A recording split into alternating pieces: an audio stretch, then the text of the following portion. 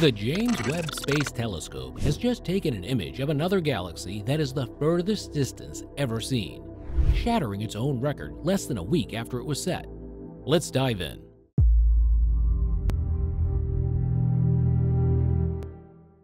Using the James Webb Space Telescope, astronomers have detected what they believe to be the most distant galaxy that has ever been observed. It is a faint red smudge that is located 35 billion light years away. With the help of Webb's near-infrared camera, which has the ability to see the earliest flickerings of the very first stars, an image of the galaxy, which has been given the designation CEERS 93316, was taken as it appeared approximately 235 million years after the Big Bang.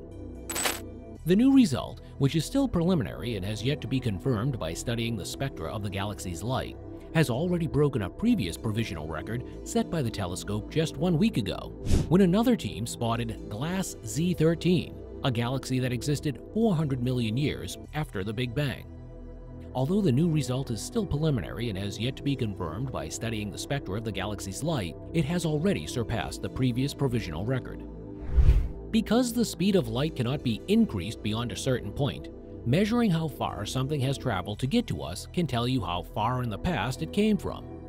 Because of a phenomenon known as redshift, the light emitted by the most ancient and faraway galaxies undergoes a process in which its wavelengths become elongated as they travel through the ever-expanded fabric of space and time. Because of this phenomenon, the sophisticated infrared cameras that Webb possesses are necessary for gaining insight into the earliest moments of the universe. The newly discovered galaxy has a record-breaking redshift of 16.7, which means that its light has been stretched to nearly 18 times redder than it would be if the expanding universe wasn't moving the galaxy away from us. The researchers detailed their findings in a paper that was posted on July 26 to the preprint database arXiv. The findings have not yet been subjected to a review by other researchers. Because of its extreme sensitivity to infrared frequencies, the Webb telescope needs to be kept away from potentially disruptive heat signals on Earth.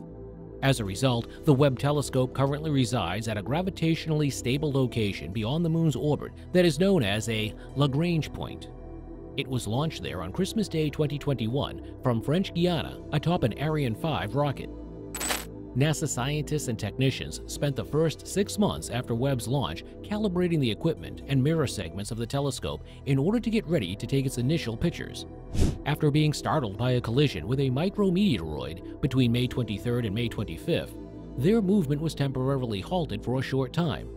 According to a prior article by Live Science, the hit caused uncorrectable damage to a small portion of the telescope's mirror. Nevertheless, this does not appear to have had an effect on the instrument's performance. As of 12th of July 2022, when the telescope published its stunning first images, it has been inundating the internet with photographs of fascinating objects in the far distance. The newly discovered record-breaking image was collected during the Cosmic Evolution Early Release Science Scans, CEERS, which was carried out by the telescope and involved in a deep and wide-field sky survey. Surprisingly, the researchers that discovered the image weren't even seeking for the farthest galaxy ever recorded when they came across it.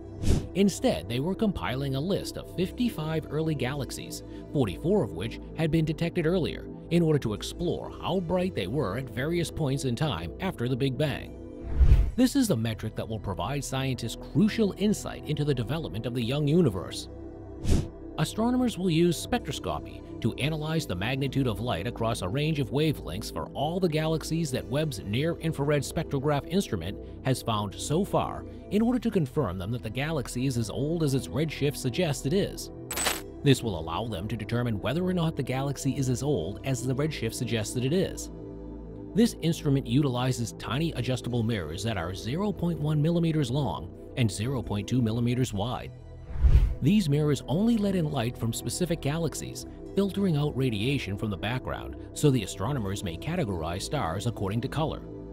Because of this endeavor, not only will the age of the galaxy's light be revealed, but also their chemical makeup, temperatures, and sizes.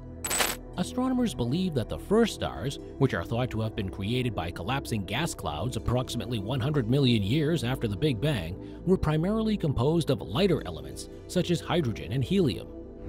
Later, stars began to fuse lighter elements to generate heavier ones, including oxygen, carbon, lead, and gold, through the process of nuclear fusion.